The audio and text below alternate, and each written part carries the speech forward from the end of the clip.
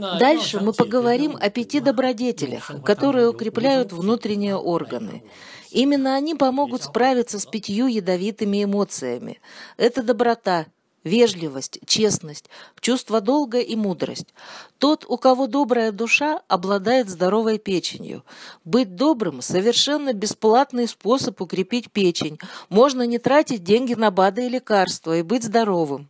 Но если к доброте добавить еще и БАДы, например, хитозан, эффект будет еще лучше. Вежливость тоже полезна для здоровья. Если человек соблюдает приличия, выражает уважение к старшим и корректно ведет себя с младшими, он тем самым помогает своему сердцу.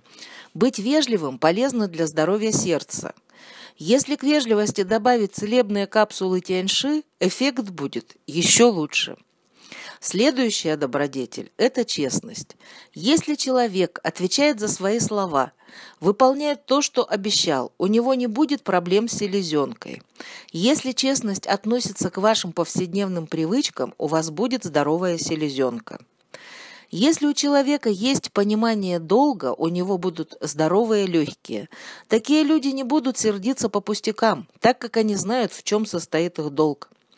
Следующая добродетель – мудрость. Мудрый человек понимает, от чего можно отказаться, что можно забыть. Он не будет искать для себя дополнительных негативных эмоций. Мудрость полезна для здоровья почек, так как такие люди умеют сохранять душевное спокойствие.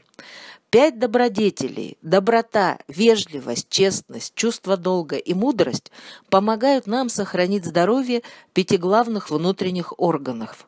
Если вы будете следовать этим пяти добродетелям пару-тройку дней, вы ничего не почувствуете.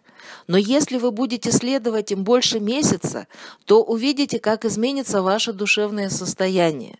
Состояние внутренних органов тоже начнет меняться.